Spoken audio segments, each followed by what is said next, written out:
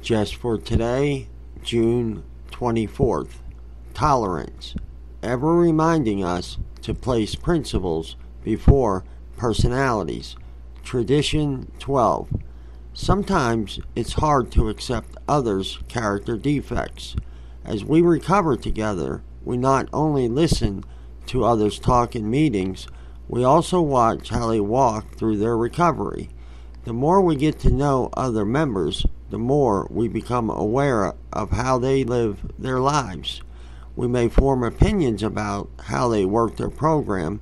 We may find that certain members upset us, or we may even hear ourselves say, If I worked their program, I would surely use. We have found tolerance to be a principle that not only strengthens our own recovery, but also our relationships with individuals who are a source of irritation to us.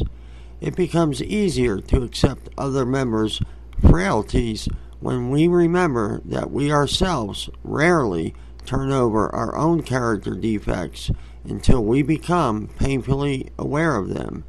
Just for today, I will strive to accept others as they are.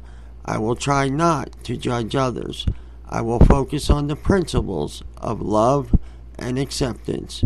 Just for today, June 24th.